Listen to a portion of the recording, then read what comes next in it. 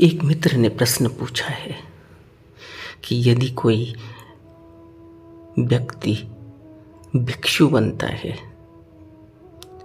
तो इसमें कितनी बड़ी बात है और कितना बड़ा पुण्य है? बुद्ध कहते हैं कि यदि किसी के दीपक में तेल के बजाय पानी हो तो वह दीपक प्रकाश न दे सकेगा।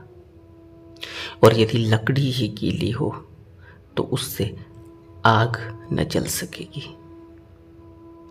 यदि कोई कामाग्नि को शांत नहीं कर सकता, यदि वह सांसारिक या दिव्य सुखों की प्राप्ति के ही स्वप्न देखता रहता है तो वह एक निंदनीय जीवन व्यतीत करने से कैसे मुक्त हो सकता है? जो आत्मदृष्टि से मुक्त होता है, उसी की कामाग्नि भी शांत हो जाती है। वह न सांसारिक सुखों की इच्छा करता और न स्वर्गीय सुखों की। उसकी प्राकृतिक इच्छाओं की पूर्ति उसे अपवित्र नहीं बनाएगी।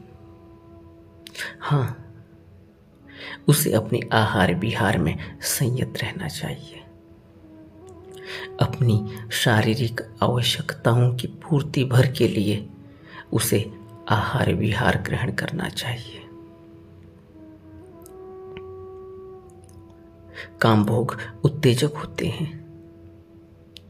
आत्मरत मनुष्य अपनी कुप्रवृत्तियों का गुलाम होता है।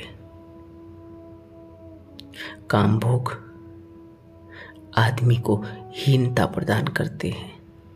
उसे पत्तो, पतनोन्मुख बनाते हैं। पतनोन्मुख।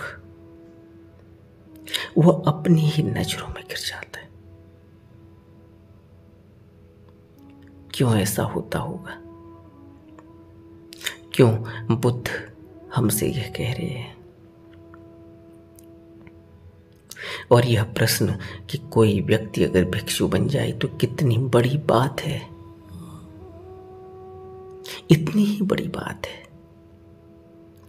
जो आत्मदृष्टि से मुक्त हो गया, उसकी कामाग्नि भी शांत हो जाती है। वह सांसारिक सुखों की इच्छा नहीं करता। और न स्वर्गीय सुखों की, क्यों? क्योंकि आत्मदृष्टि से मुक्त हो गया, मैं का भाव नहीं रहा। और असल में मैं है भी नहीं। एक छोटा सा बच्चा पैदा होता है। कहाँ है मैं? उसको नहीं पता कि माँ कौन है, उसको नहीं पता कि बाप कौन है, उसको नहीं पता कि मेरे पास क्या है। क्या लेकर आया हूँ मैं?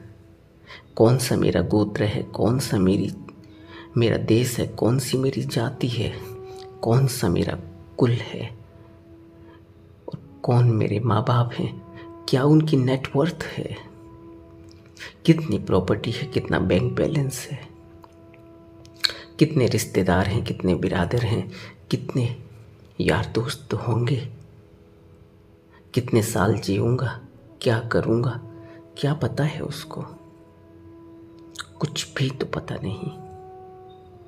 कहाँ है मैं? और फिर वो मैं से संसार बनाता है, अपनी आइडेंटिटी से संसार बनाता है। और यही आइडेंटिटी एक दिन उसे कहीं का नहीं छोड़ती। इसी को बुद्ध कह रहे हैं कि जो आत्मदृष्टि से मुक्त होता है, उसी की कामाग्नि भी शांत होती है। फिर वो सांसारिक सुखों की तलाश नहीं करता। और एक भिक्षु जब निकलता है अपने जीवन को, आध्यात्म के उस मुकाम मुकाम तक पहुँचाने के लिए, अपने उस उद्देश्य के लिए, अपने उस लक्ष्य की प्राप्ति के लिए जो तथागत ने उसको समझाया है, उसको बताया है तो फिर वह बुद्ध कहते थे कि कुल पुत्र है, जिसने संसार, जिसने अपने घर परिवार को छोड़ दिया। जो अपने घर से बेघर हुआ है वह कुलपुत्र किस लिए बेघर हुआ है? वह कुलपुत्र बेघर हुआ है अपने को आत्मदृष्टि से मुक्त करने के लिए। वह घर से बेघर हुआ है अपनी कामाग्नि को शांत करने के लिए। वो घर से बेघर हुआ है सांसारिक सुखों से मुक्त होने के लिए। और न स्वर्गीय सुखों की इच्छा रखने के लिए। उसका जीवन एक ऐसा जीवन है जो सिर्फ़ एक लक्ष्य पर चलता है, जैसे घोड़े के दोनों आँखों को सीधा वह अपने लक्ष्य की तरफ़ देखे, उसकी दोनों आँखों में एक प्रकार का, एक प्रकार की ऐसी वस्तु लगा दी जाती है। कि वो फिर अपनी आँखों को इधर उधर घुमा नहीं पाता। आँखों के किनारे पर लगा दी जाती है। वो फिर सीधे अपने लक्ष्य को देखता है। ठीक इसी तरह एक व्यक्ति जब आध्यात्म की राह पर संकल्प ले लेता है बढ़ने का और भिक्षु बन जाता है, फिर वह अपने लक्ष्य पर इसी तरह नज़र गड़ा कर रखता है। इसी को बुद्ध कह रहे हैं कि फिर वह कुलपत्र जब घर से बेघर होता है तो फिर वह अपनी दृष्टि को, आत्मदृष्टि में नहीं लगाता। फिर वह अपने को कभी भी ऐसे नहीं देखता कि उसे कोई सांसारिक सुख चाहिए। और जिसने भी सांसारिक सुखों की तलाश छोड़ी और निर्वाण की तरफ़ बढ़ा, उसको निर्वाण मिलता ही है। निर्वाण इसीलिए मिलता है क्योंकि अब उसका लक्ष्य सांसारिक सुख नहीं, अब उसके, उसका लक्ष्य अपनी कामाग्नि को शांत करना नहीं है। अब उसका लक्ष्य है इस भावबंधन से मुक्ति। और इस भावबंधन से मुक्ति के लिए बुद्ध कहते हैं कि जो बड़ी बात करने वाली है, वह है सभी अकुशल कर्मों का त्याग कर। और कुशल कर्मों को करना। और अगर अकुशल कर्म करते हैं तो उनको छोड़ना और अकुशल कर्मों की जगह कुशल कर्मों को करना। क्या है अकुशल कर्म जिनका परित्याग करना है? एक भिक्षु को। कितना बड़ा पुण्य है एक भिक्षु बनना? प्रश्न यह है। दस अकुशल कर्म बुद्ध ने बताए। एक भिक्षु दस अकुशल कर्मों से अपने को मुक्त कर लेता है। क्या है अकुशल कर्म? दस। प्राणी हत्या से बचना, जीव रक्षा करना, दूसरा चोरी मत करना, तीसरा अपवित्रता से बचो, श्रेष्ठ जीवन व्यतीत करो, चौथा झूठ मत बोलो, सत्य बोलो। सत्य किंतु विवेक के साथ निर्णय, निर्भय होकर और मधुर स्वर में। किसी के बारे में गलत, मनगढ़ंत बातें मत फैलाओ। उनका प्रचार मत करो। दूसरों के दोष मत देखते रहो, बल्कि अपने मित्रों के गुणों की ओर ध्यान दो, ताकि तुम उनके विरोधियों से उनका संरक्षण कर सको। छठा शपथ शपथ ग्रहण मत करो, किंतु तेजस्विता के साथ बातचीत करो। सातवां, गप्पे मारकर समय बर्बाद मत करो। मतलब की बात करो, धर्म की बात करो या मौन रहो। और आठवां, ईर्ष्या जलन नहीं करना। दूसरे लोगों की संपन्नता को देखकर हर्षित होना, मुदित होना। और नवा, अपने हृदय में जलन के लिए, दाह के लिए कोई स्थान न रखो। घृणा मत करो। शत्रुओं से भी यहाँ तक कि सभी प्राणियों से करुणाशील होकर, दयावान होकर रहो। और दसवां, अविद्या को निकाल कर सत्य ज्ञान को विद्या को अपने अंदर स्थान दो। अपने दिमाग से अविद्या को निकाल दो। अविद्या का अंत मतलब है अज्ञानता। अज्ञानता की जगह ज्ञान को, सत्य ज्ञान को अपने जीवन में स्थान दो। और यदि संशय हो, विचिकित्सा हो, मिथ्या धारणा हो तो उन सभी मान्यताओं को गिरा दो। उन मान्यताओं को अपने जीवन में कोई जगह मत दो। जो भी इन दस अकुशल कर्मों को अपने जीवन से निकाल फेंकेगा, उखाड़ फेंकेगा, वह व्यक्ति निर्वाणगामी होगा, सन्मार्ग पर आगे ही बढ़ता रहेगा।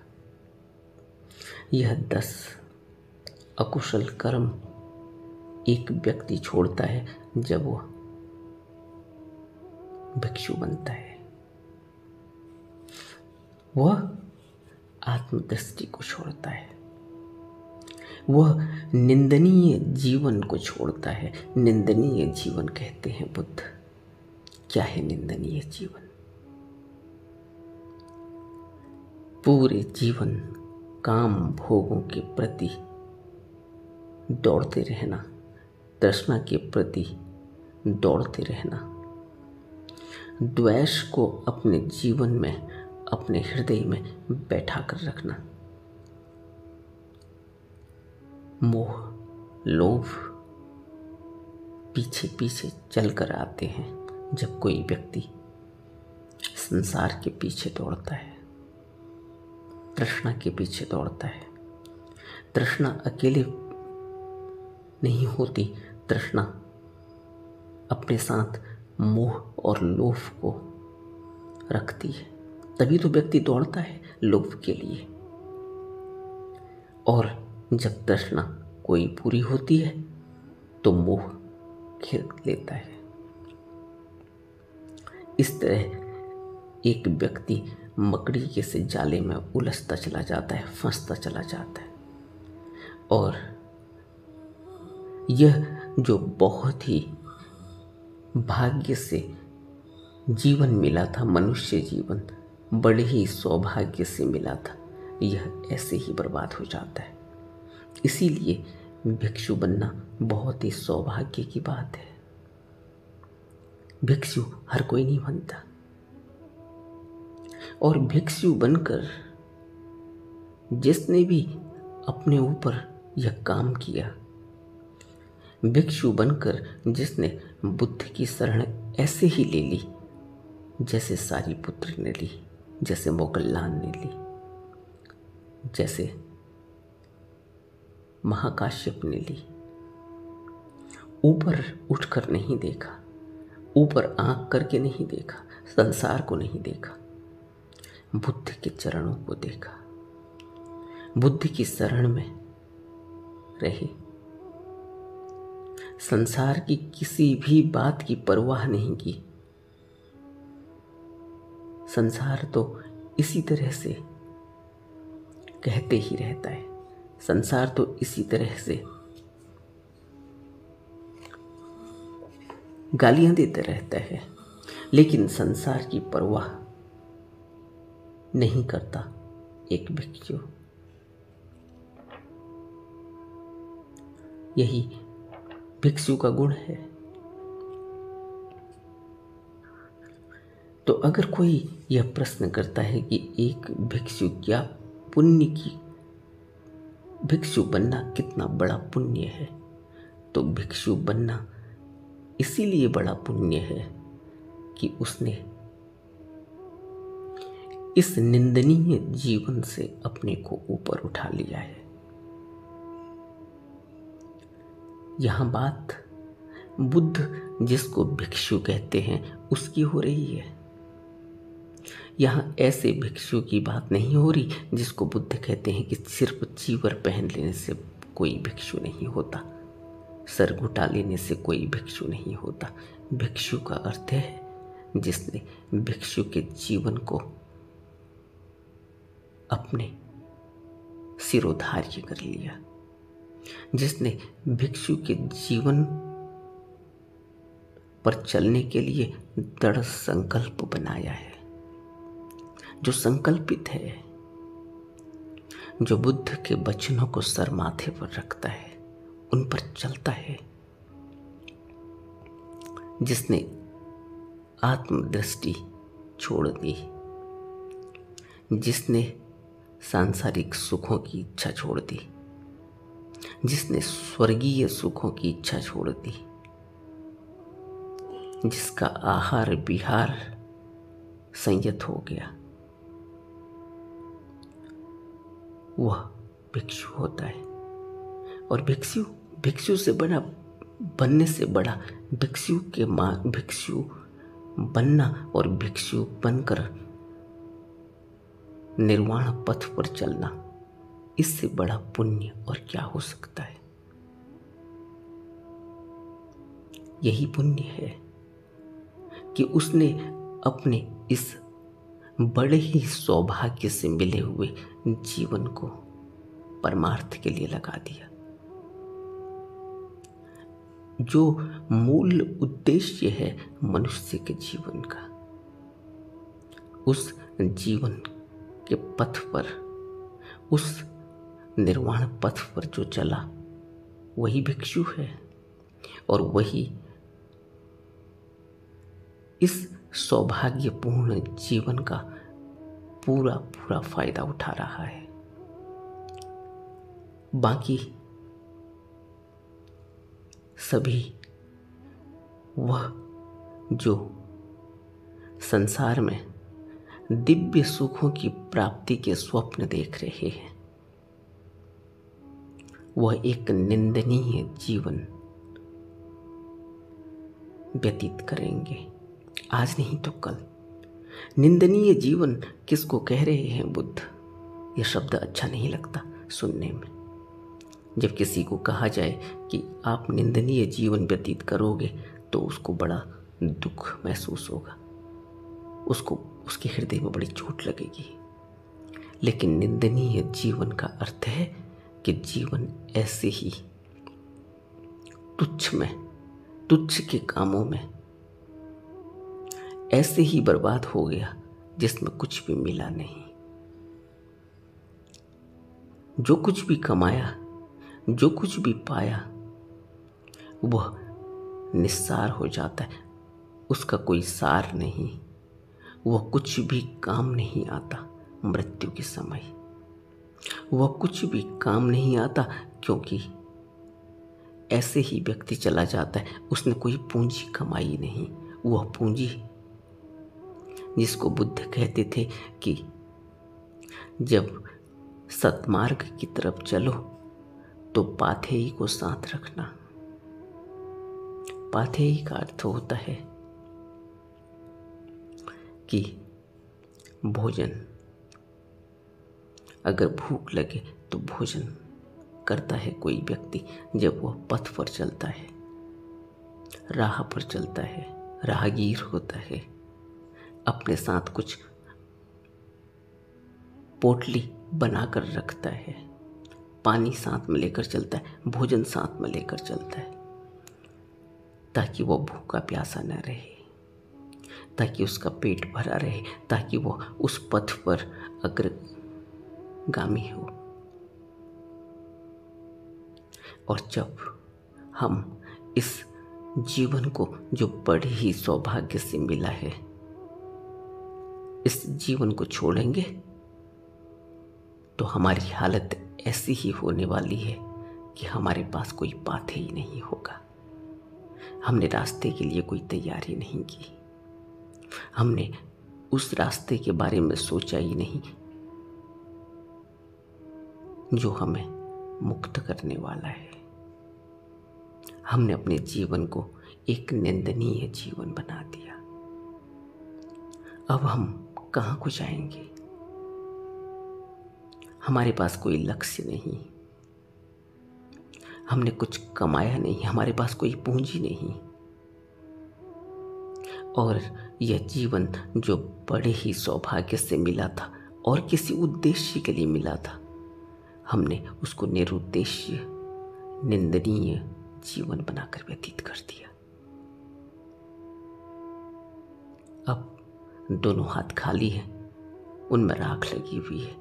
कुछ भी हाथ नहीं लगा, न तो संसार, क्योंकि संसार तो मिलना ही नहीं है। किसी को नहीं मिला आज तक। सिकंदर भी यहाँ से संसार को जीतने चला था, लेकिन संसार उसे मिला नहीं। वह संसार को ले जा नहीं पाया। वो खाली हाथ ही गया। और जनाजे कि निकलते समय उसने यह घोषणा भी कर दी कि जब भी मेरा जनाजा निकले तो मेरे दोनों हाथों को बाहर निकाल कर रखना ताकि दुनिया देख सके कि सिकंदर जो दुनिया जीतने चला था, वो अभी यहाँ से कुछ ले जा नहीं सके, सका। खाली हाथ ही जाएगा, खाली हाथ ही जा रहा है। एक निंदनीय जीवन व्यतीत कर कर, एक संसारिक, एक सांसारी ऐसे ही चला जाता है।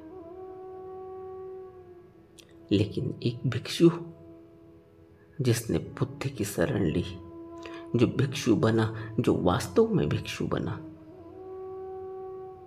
वह अग्रगामी है।